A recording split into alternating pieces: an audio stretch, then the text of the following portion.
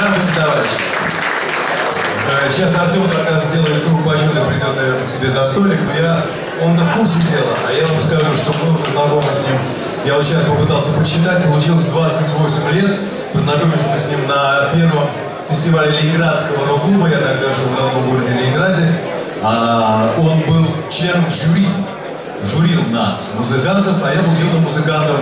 И впервые тогда выступил на этом фестивале с, с только что созданной группой Пилигрим. Было это в 83 году, получается ровно 28 лет назад.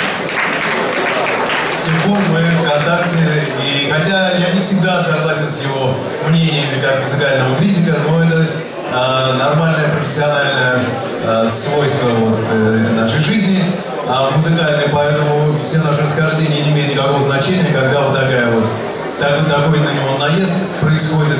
Для меня, как для э, жителя Америки, это, конечно, какое-то дичь и безумие, а как для э, человека, который родился и юность провел свою в России, в Советском Союзе тогда еще, мне, мне больно моей, моей душе, так сказать, моему сердцу за то, что происходит на моей родине.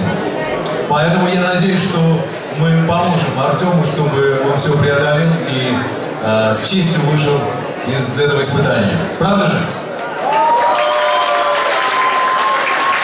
А сейчас я хочу побыть отсюда без состава один.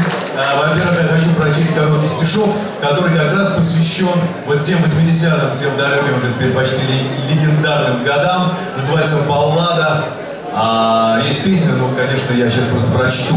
И там два коротких эпиграфа. Первый это «Была, без- была э, та смутная пора» Пушкин.